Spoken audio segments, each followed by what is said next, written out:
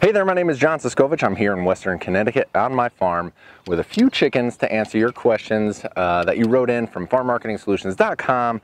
At the bottom of the page, ask me a question, making a video. There's my sad prepubescent rooster just trying to crow away.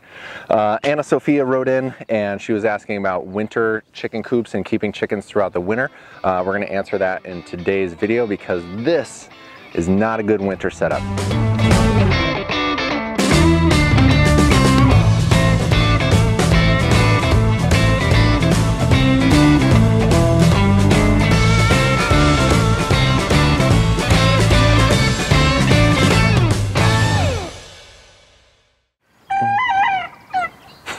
Friggin' bird.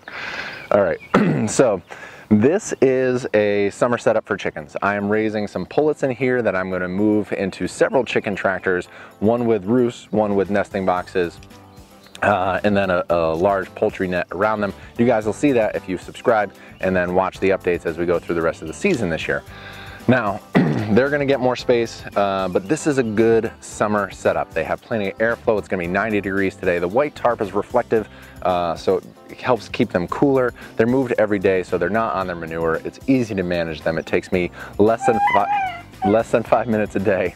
And uh, it's great in the summertime. Now, come winter, there's gonna be snow on the ground. You know, you do pasture poultry, you can raise chickens while the grass grows. But the grass is not growing, you gotta have somewhere where they can get out of the elements because chickens don't do well if they're just out in the world. You know, they're, they're from Southeast Asia originally. They're not made for, you know, my New England weather where we can get 24 inches of snow in a day. And uh, yeah, birds don't like that. So what do I do for the winter? I've done several things in the past. My largest flock was uh, 400 birds, and then I've kept a variety between two and 400 birds over the winter before. Um, there's some core tenets of what you want in your winter housing, what you're looking to set up. If you want more egg production, you're gonna need to put lights on them. If you wanna just let them rest for the winter, you can do no lights. You want it to be well ventilated, so as their, uh, as their manure builds up a little bit, they can, that air can escape, any ammonia or vapors can escape, uh, so they're not smelling it um, but you don't want it to be breezy. Now when birds in the winter eat, well in the summer or the winter, when they eat they metabolize that and they're covered by a big down comforter, like you laying in your bed all comfortable. Those birds are covered in feathers. When they eat, about five hours after they eat, their peak metabolic heat hits and they produce heat and it sticks in those feathers. Can I say heat like nine more times in this sentence? Uh, it stays in their feathers and then that's how they stay warm. So they eat a little bit more, they drink a little, they drink a little bit more to help them process that feed. They make a little bit more heat and they stay warmer. And if the wind blows through their feathers, it's gonna knock that heat out and they're gonna get cold.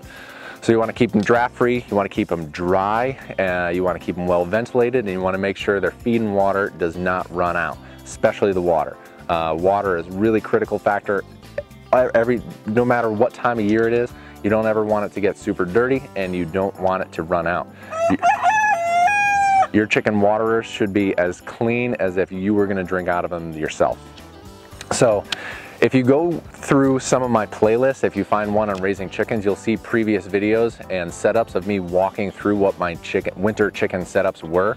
Uh, it's bigger than bigger topic and more time than this video, but there's a very good chance I'm gonna keep these birds through the winter. My good chicken winter setups have been allocated to other things, so I don't have a good place to put them for this winter. So I'm gonna have to create something, find something, have a solution uh, to, to have all those factors taken care of for my birds for the winter.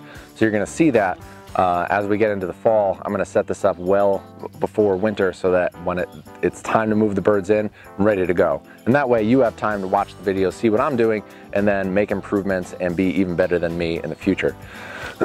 so winter setup, does a chicken tractor work? No. Does it work for the summer? Fantastically.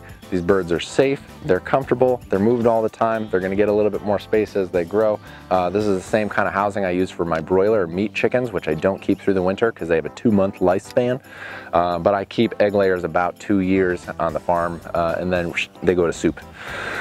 Anna Sophia, I hope that answers your question. I hit you all with a lot of details and this was meant to spark some discussion, some questions, see what you guys are interested for keeping animals over the winter, uh, and then I'll be able to plot out what you guys want to see for this fall season of Farm Marketing Solutions on YouTube by your responses to today's video. So that's it. If you want your question answered, you can go to farmmarketingsolutions.com, go to the bottom of the homepage and you can ask me your question. I will answer it here on video. Tomorrow we're going to Lance Shore. He has a question about video editing itself, which I think is kind of fun. I'm gonna share with you guys how I got to the first 10,000 subscribers on YouTube uh, and what I've done since then and how I've utilized that information and resource uh, on my farm. Thanks for taking the time to watch this video and until next time, I will see you out in the field.